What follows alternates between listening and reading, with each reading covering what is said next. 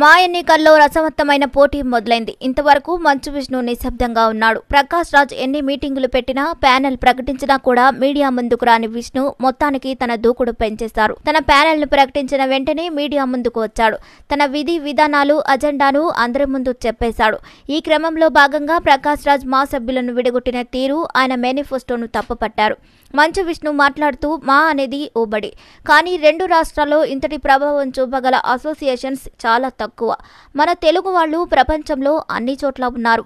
ఓ generation ఇండియాలో పుట్టకుండా విదేశాల్లో పుడుతున్నారు. అలా వాళ్ళందరికీ తెలుగుదనాన్ని తెలుగు ఆత్మ గౌరవానికి కనెక్ట్ చేసేది ఒక సినిమానే. అనధికారికంగా మేం సాంస్కృతిక అంబాసిడర్లుగా ఉన్నాం. ఇరవై ఐదేళ్ళ క్రితం మా అసోసియేషన్ పుట్టింది. అంతకుముందు నడిగర్ సంఘం ఎంతో మందికి అన్నం పెట్టింది. దాన్ని ఆ జనరేషన్ మర్చిపోదు. నేను మర్చిపోను. ఇక్కడ డెవలప్మెంట్ చేసుకుందామని ఇక్కడకు వచ్చాం. అప్పుడు కేవలం థియేటర్లు మాత్రమే ఉండేవి. ఆ తరువాత శాటిలైట్ పైరసీ ఇలాంటి వస్తూనే ఉన్నాయి. ఇక ఇప్పుడు ఓటీటీలు కూడా వచ్చాయి. ఎన్నో మార్పులు వచ్చాయి. కానీ మాలో మాత్రం ఏ మార్పులు రాలేదు. మా లైఫ్ స్టైల్ మారలేదు. మేం మీలాంటి వాళ్ళమే. సినిమాల్లో పాత్రలను మాత్రమే పోషిస్తాం. ఓ నటుడి కష్టం నటుడికే తెలుస్తుంది. ఒక ఏడాది అంతా పని ఉంటుంది. ఆ తరువాత అసలు పని ఉండకనే పోవచ్చు. మా ప్రెసిడెంట్ అనేది బిరుదు కాదు. అది పెద్ద బాధ్యత. మోహన్ బాబు గారు ఈ ఎన్నికల పట్ల హ్యాపీగా లేరు. ఈ ఎన్నికలు ఈ విధంగా జరగడంలో ఎవరం హ్యాపీగా లేము. మా నాన్నగారు నటుడిగా ఇండస్ట్రీకి వచ్చి నలభై ఏడేళ్ళు పూర్తిగా వస్తుంది. అంతకు ముందు ఐదారేళ్ళు అసిస్టెంట్ డైరెక్టర్గా పనిచేశారు. కానీ గత రెండు మూడు వారాలు విపరీతమైన బాధపడుతున్నాం. ఇది వరకు ఎప్పుడు కూడా ఇంతలా డివైడ్ కాలేదు. ఇంత బీపచ్చంగా జరగలేదు. దాసరి మురళీమోహన్ గారు కూర్చుని నన్ను ప్రెసిడెంట్గా చేయమన్నారు. ఇంటికొచ్చి నాన్నగారికి చెప్పాను. అది పెద్ద బాధ్యత. ఇప్పుడే పిల్లలు పుట్టారు. సినిమాలు కూడా ఉన్నాయి. ఇప్పుడు వద్దు అన్నారు. ఆ వెంటనే దాసరి గారికి నచ్చ చెప్పారు అలా వద్దన్నారు. నేను చేయగలను అనే కదా? గొడ్డు చాకరీ చేయగలను అనే కదా. ఆ రోజు వారు నన్ను ప్రెసిడెంట్గా పోటీ చేయమని అన్నారు. ఇప్పుడున్న సమస్యలకు పరిష్కరించాలంటే ఎనర్జీతో పనిచేయాలి మాకు ఆ ఎనర్జీ ఉంది. ఆ ప్యానెల్లో ఎంతో మంది గొప్ప నటులున్నారు. నిర్మాతగా నా వద్ద ఎంతో మందిని పెట్టుకున్నాను. కానీ మా అసోసియేషన్కు మాత్రం వాళ్ళు ఎలాంటి సేవ చేయలేరు. అది నాకు తెలుసు. నాకంటే ఇండస్ట్రీకి తెలుసు. వాళ్ళు చెప్పిన దాంట్లో తొంభై శాతం తప్పులే ఉన్నాయి. రెస్టారెంట్కు వెళ్తే డిస్కౌంట్ ఏంటి? అన్నపూర్ణ గారు వెళ్తారా? బాబుమోహన్ గారు వెళ్తారా? పెద్దవాళ్ళను మనం చూసుకోవడం బాధ్యత. ఇది చారిటీనా? అని అన్నారు. ఇన్సూరెన్స్లు వద్దని అంటున్నారు. ఇది అంతా మన బాధ్యత. ఎడ్యుకేషన్ పాలసీ గురించి ఎవరు చర్చ పెట్టినా నేను సిద్ధమే.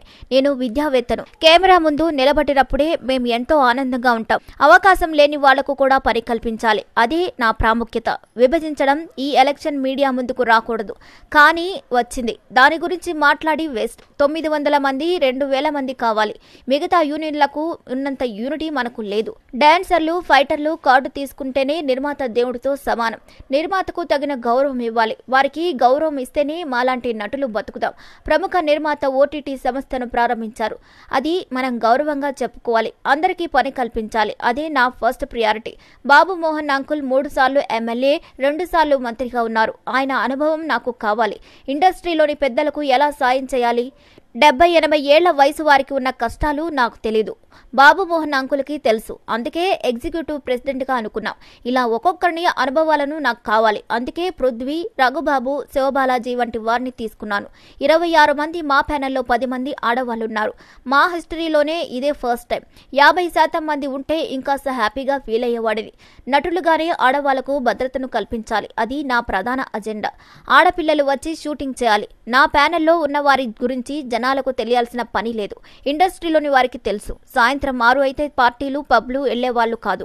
పనిచేసేవాళ్ళు ఎంత రాత్రైనా సేవ చేసేందుకు రెడీగా ఉండేవాళ్ళు ఇండస్ట్రీలో చాలా మంది సేవ చేస్తున్నారు. ఓ హీరో రెండు కోట్లు ఇవ్వచ్చు మరొకరు వెయ్యి రూపాయలు ఇవ్వచ్చు. Babu Mohan uncle BJP Madhala Ravi CPI CPM ఇంకా టీఆర్ఎస్ టీడీపీ వాళ్ళు కూడా ఉన్నారు. మాకు చంద్రబాబు గారు బంధువు. వైఎస్ జగనన్న బావగారు అవుతారు.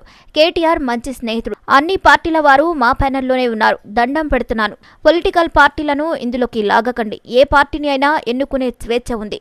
ఇది మా ఎన్నికలు. మూవీ ఆర్టిస్ట్ అసోసియేషన్ ఎన్నికలు. రాజకీయ పార్టీలకు సంబంధం లేదు.